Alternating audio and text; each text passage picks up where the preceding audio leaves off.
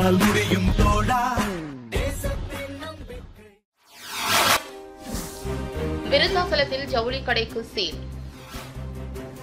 Corona virus நோய் தொற்று பரவலை தடுக்கும் வகையில் நாடு முழுவதும் ஊரடங்கு உத்தரவு அமல்படுத்தப்பட்ட நிலையில் கடலூர் மாவட்டம் விருத்தாசலம் பாலக்கரை சந்திப்பு பகுதியில் இயங்கி வந்த விஜய் ஹைஸ்டைல் ஜவுளி கடையில் சமூக விலக்களை கடைபிடிக்காமல் மக்கள் கூட்டம் அலைமோதியதால் தகவல் அறிந்து அங்கு சென்ற வட்டாட்சியர் கவியரசு உடனடி ஆய்வு மேற்கொண்டு ஜவுளி கடைக்கு சீல் வைத்தார்.